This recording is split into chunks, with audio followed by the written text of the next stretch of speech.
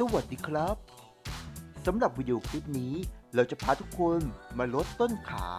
และก็ดูแลกล้ามเนื้อส่วนต่างๆ ของร่างกายแบบง่ายๆครับ โดยเฉพาะช่วงล่างแบบครบวงจร เรามารู้จักกับท่าแรกก่อนเลยครับ ท่าแรกเป็นท่าการยืนออกกำลังกายแบบง่ายๆและที่บ้านนั่นก็คือการ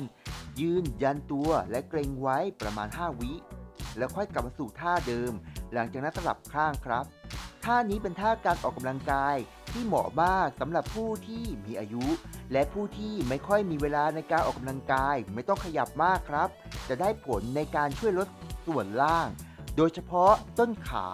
สะโพก และยกกระชับ แก้ปัญหาหย่อนคล้อย และช่วยสลายเซลลูไลท์ได้ เราจะออกกำลังกายท่านี้กันอย่างต่อเนื่องครับ ทางด้านขวามือเราจะออกกำลังกายทั้งหมด 20 ครั้ง และทางด้านซ้ายมือก็เช่นเดียวกันครับ ทั้งหมด 20 ครั้ง คุณพร้อมหรือยังครับ กับการออกกำลังกาย 40 ครั้งง่ายๆ สบายๆ ที่คุณสามารถทำได้ที่บ้าน ถ้าคุณพร้อมแล้วเรามาเริ่มออกกำลังกายกันเลยนะครับ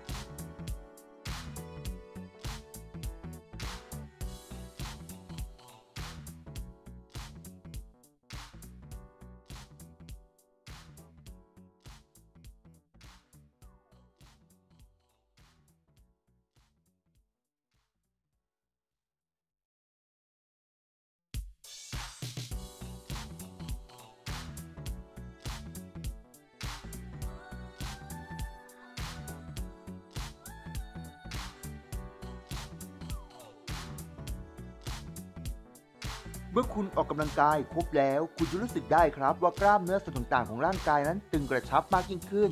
เป็นอย่างไรกันบ้างครับ ถ้าถูกอกถูกใจผมก็ดีใจมากเลย